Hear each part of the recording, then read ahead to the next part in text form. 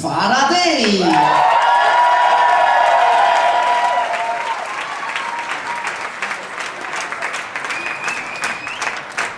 Goedenavond, dames en heren. Mijn naam is Ismail Ade, ben 32 jaar jong en geboren in het zonnige Alicante. Al jong nam ik de boot richting België. Al snel werd ik verliefd op dit land en zijn inwoners.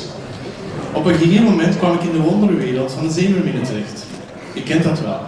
Een vrouw met een staart.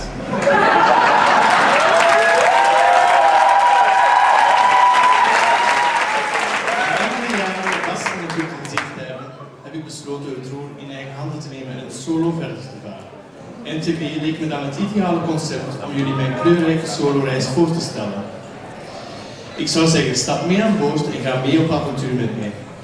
En zoals velen weten Miss Faraday, kan het er soms hevig aan toegaan.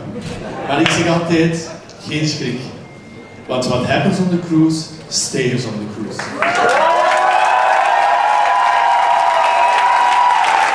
Vrijwilliger, de jurywerker, de organisatie, maar ook jullie als publiek, want zonder jullie staan wij nergens. Tot slot, tot slot wil ik, wil ik aan jullie vragen ik jullie kapitein mag zijn van 2018. Schip Ahoy!